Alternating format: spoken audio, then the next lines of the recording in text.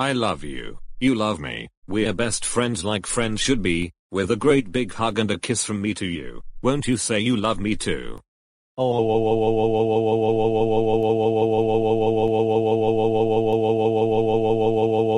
Yo, how dare you sing the I love you song in Barney, that song is freaking annoying and childish. I'm too old for Barney, I am 22 years old, and you should know that you're too old for that show too, you're 25 years old, not 7, geez, I had enough of the childish act of yours, and for this, I will tell my friends for what you did. Get ready to get cancelled. Oh no, please don't. I just love Barney and other children's shows. I don't care, you are getting cancelled, and that's a strong and capital final.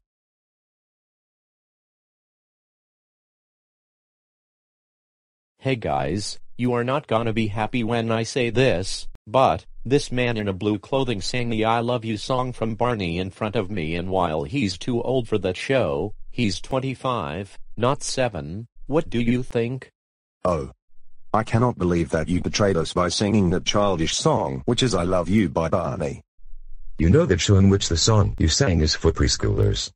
And we're not preschoolers. We're in college. You're too old for any shows for children. Grow up already. You're permanently banned from anything made for children. You are not a baby anymore.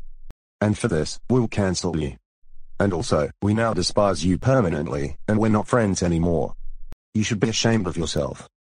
And if you try to apologize, it will be denied forever. So yeah, have fun being cancelled, dummy preschool addictor.